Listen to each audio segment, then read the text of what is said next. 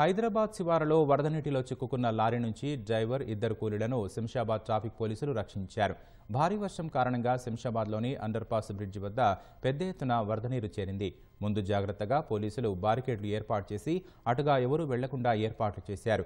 ఎవరూ లేని సమయం చూసి లారీ డ్రైవర్ మరో ఇద్దరు కూలీలు బారికేడ్లు తొలగించి అండర్పాస్ బ్రిడ్జి గుండా వెళ్ళడానికి ప్రయత్నించారు. ఈ క్రమంలో లారీ వరద నీటిలో మునిగిపోయింది. లారీ డ్రైవర్ ఇద్దరు కూలీలు లారీపైకి చేరుకొని చిక్కుకుపోయారు. సమాచారం తెలుసుకొని అక్కడికి చేరుకున్న పోలీసులు ట్రాఫిక్ హెడ్ కానిస్టేబుల్ ఆధ్వర్యంలో సిబ్బంది సహాయక చర్యలు చేపట్టారు లారీ డ్రైవర్తో పాటు ఇద్దరు కూలీలను సురక్షితంగా బయటకు తీసుకువచ్చారు వరద నీరు నిలిచిన ప్రాంతాలలో వాహనదారులు రాకపోకలు సాగించే సమయంలో జాగ్రత్తగా ఉండాలని పోలీసులు సూచిస్తున్నారు